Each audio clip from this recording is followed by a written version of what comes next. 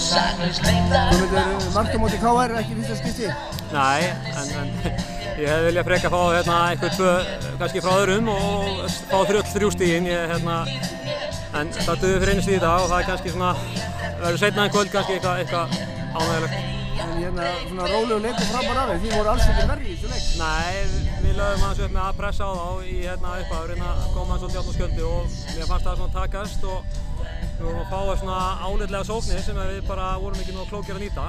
Og það er svona, svo dróða á okkur setnáleik, það fyrir orkaði í þetta. Og, hérna þá náttúrulega svo lendur marki undir og þeir orkaði það líka. Þannig að við vorum kannski svona orðin frekar þreyttir síðustu, kannski 10-15 en, en mér fannst við í svona opnu spili, heilt, heilt yfir, þá fannst við við verðum betri en þeir, við vorum að skapa okkur meiri hættu og annað. En þeir eru, voru svona hættulegir í fyrstum leikadrum og við vissum það fyrir og, og svona ekki alveg nógu gott að fengi marka á sig úr fyrstum leikadri. En svona, þetta eru hörku viðregnir svona hinga til og, og hérna sex skuld fjöldi þessum leik.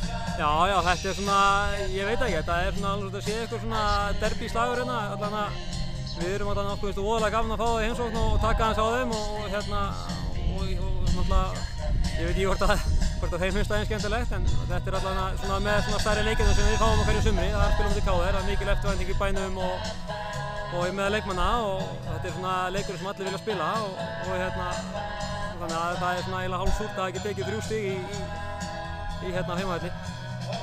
Nú þekkir þú að manna best. Hver, hver er galdurinn að skora mútið káðir? Það hefur reynst best bara að hérna, setja svona rétt fyrir aftan markmannin niður fyrir stána og millir stangana.